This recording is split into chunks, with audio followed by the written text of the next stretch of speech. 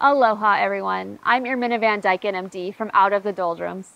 Let's talk about mushrooms, edible mushrooms to be precise. You know, like mushrooms you can buy at the grocery store and put in your meals, things like white button mushrooms, portobello, all that. There's a lot of health benefits to mushrooms, but today I really want to dial in on how mushrooms can affect your microbiome. The human microbiome is a very fascinating topic, and it's one of my favorites. There's so much research on this coming out every day, and we're learning that it really plays a huge role in our overall health. Recently, I took a microbiome test, which is really amazing. Amazing because did you know the first microbiome sequencing occurred in 2003? And it was astronomically expensive, could only be done in specialized labs, and it took a really long time to get results. Now, you can get a test for under $100 and you generally get your results within a few weeks. To me, the advance in technology is mind blowing. So, back to the test. I wanted to take a moment to thank Ombre Labs for sponsoring this video. They reached out and asked me to try their microbiome test, and I was really impressed by the ease of use and quick turnaround time. The test generates a microbiome report, which is quite detailed even to the detail of which specific bacterial species need to be increased for better microbial health. The interesting thing is they go as far as to recommend foods to eat and avoid in order to improve your parameters. These are all research based with links to the science behind the recommendation.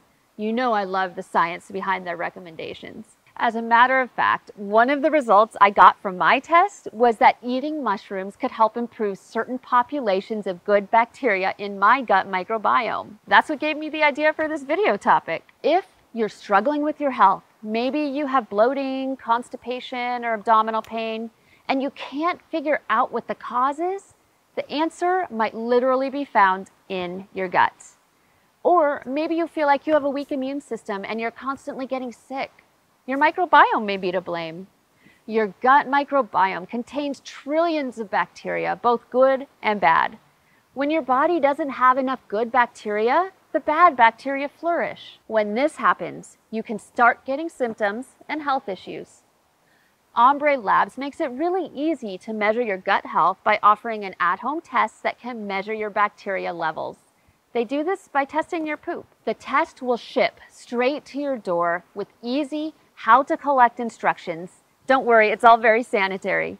Upon receiving your results, Ombre Lab will give you a detailed breakdown of all your gut bacteria, the health issues it may be causing, and what specific foods you need to consume more or less of to improve your health. For me, I learned that I need to incorporate more mushrooms into my diet to improve my microbiome. Ombre will even develop personalized probiotics to heal your gut with a subscription. So if you're struggling with your health and you want to see if your poop has the answers, visit tryombre.com slash out of the doldrums to get $30 off your first test. To get this great discount, click the link in the description below. And thanks so much in advance. It really helps support our channel. So back to mushrooms and the microbiome.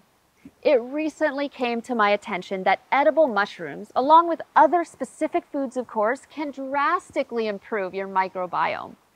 Mushrooms have been used for food and medicinal purposes since, well, the beginning of humanity. There's evidence of mushrooms being used by the Iceman, that mummified human that was found in the Swiss Alps. He carried with him a wrapper or skin made of mushrooms. It was thought to hold the embers of his fire as he traveled. The ancient Egyptians also have records of eating mushrooms and using them medicinally. We know mushrooms are healthful when included in a balanced diet. For one, they're rich in polysaccharides like beta glucans that have a whole range of health benefits, including stimulating the immune system. It's actually these beta glucans that many scientists think are the most responsible compound for the health benefits of mushrooms mushrooms have a high protein content, up to 44.9%, and they also contain fiber, vitamins, and trace minerals. Additionally, mushrooms are very high in prebiotics, which are food ingredients that can promote the growth of beneficial or good gut bacteria. Here are a few of the health benefits of mushrooms. Lowering cholesterol levels, lowering blood pressure, anti-inflammatory, liver protection, blood glucose stabilization, as well as having antiviral and antibacterial properties. Let's talk about mushrooms and how they specifically relate to the gut microbiome. What effects can eating mushrooms have on our microbiome? We have to go back to the prebiotic properties of mushrooms.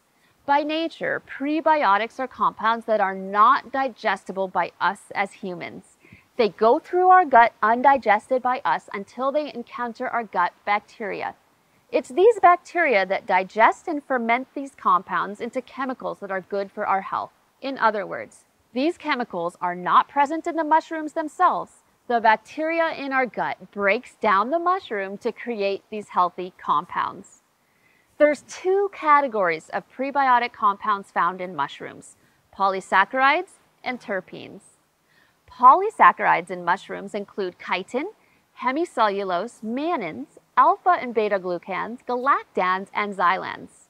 These all help stimulate and modulate the immune system. Terpenes, the other compounds, have been shown to have an impact on neurodegenerative diseases, and they have antibacterial, antiviral, antiparasitic, antioxidant, anti-inflammatory, and anti-cancer properties. Let's look at one example of the mushroom, the humble Agaricus bisporus also known as the common white button mushroom you can buy at the store. A study in mice demonstrated that white button mushrooms increase the good gut bacteria, the Bacteroidetes. The same study showed that white button mushrooms protected the gut from injury and the inflammation resolved much faster after the injury. Scientists concluded that eating white button mushrooms likely results in direct stimulation of the innate immune system. This reduces inflammation and improves GI health by limiting the damage that occurs following injury or infection. Another study was done on healthy adults.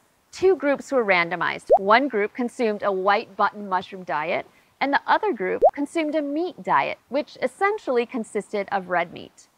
This study found that the mushroom eaters had a healthier gut microbiome profile, meaning a greater abundance of Bacteroidetes and lower abundance of Firmicutes.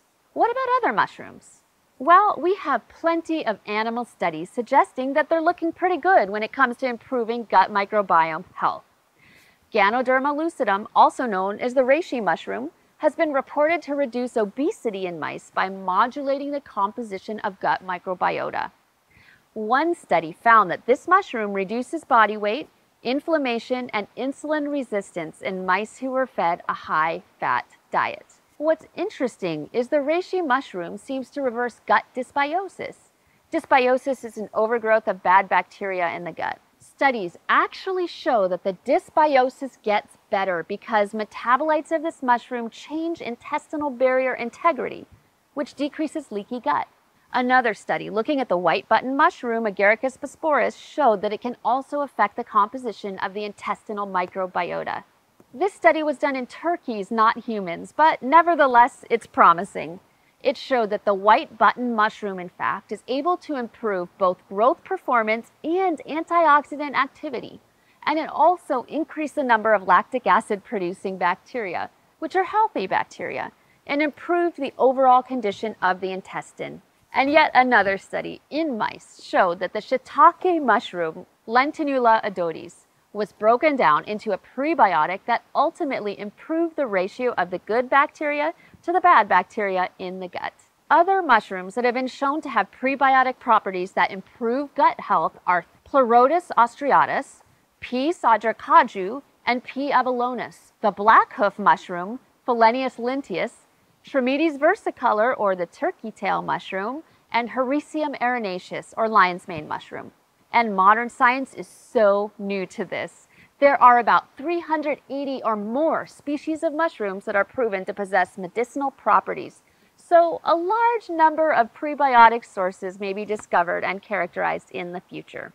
IBD, inflammatory bowel disease, also known as Crohn's disease and ulcerative colitis, is an autoimmune disorder, meaning it's caused by overstimulation of the immune system we know that an imbalance in your gut microbiome can play an important role in the development of inflammatory bowel disease. Okay, so we've established a connection between eating some mushrooms and an improvement in the gut microbiome.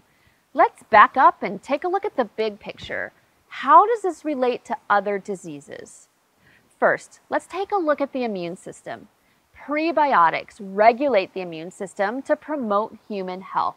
Prebiotics from lion's mane mushrooms have been shown to improve immunity, which means it could potentially improve IBD symptoms.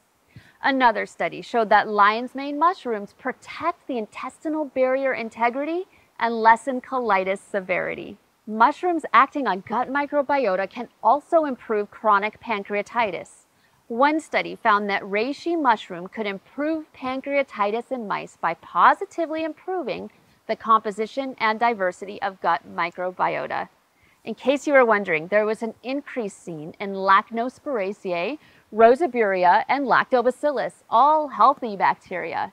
Inonotus obliquus, also known as the chaga mushroom, has also been shown to have a prebiotic effect and improve chronic pancreatitis. What about metabolic diseases? Our world is seeing much more obesity, diabetes, and cardiovascular disorders than ever before. Our gut microbiome composition has been shown to affect our metabolism, and a good metabolism means less obesity, less diabetes, and less cardiovascular disease. Mushrooms, therefore, indirectly affect our metabolic health. For example, reishi mushrooms have been widely reported to reduce obesity and to correct lipid disorders by regulating the gut microbiota. Another mushroom, Grifola frondosa, you may know it better as hen of the woods, has been shown to decrease body weight and cholesterol in rats fed a high-fat diet. It did this primarily through modulating the microbiome and increasing levels of a good bacteria called Butyricimonas. Another adaptogenic mushroom, Antrodia camphorata, was shown to produce a resistance to obesity and diabetes in a mouse model eating a high-fat diet. If you're looking for Antrodia camphorata, you'll have to go to Taiwan, where you'll find it growing on an endangered tree called the bull camphor tree. Let's wrap it up. In summary, mushrooms are super rich in prebiotic compounds. These compounds can fine tune gut microbiota to the point that overall health can be improved and diseases can be improved or prevented. We definitely need more specific studies on this, especially when it comes to human and clinical studies. For now, though, we can conclude that eating mushrooms will without a doubt improve the microbiome. So eat up and work on packing even more mushrooms into your diet. All right, I hope you enjoyed this super informative video. Please comment below with your thoughts and questions on the information provided today. If you like this video, please give it a thumbs up. If you want to show us some real support and help us to grow, subscribe to our channel. Also, remember to click the link in the description below for $30 off the Ombre Microbiome test. And thanks again in advance. It really helps support our channel. And if you want to get really nerdy, there's a CSV file you can download which shows all the bacteria they found and the amounts of each. We've had so much fun with that one. Until next time, stay safe, stay healthy, and aloha.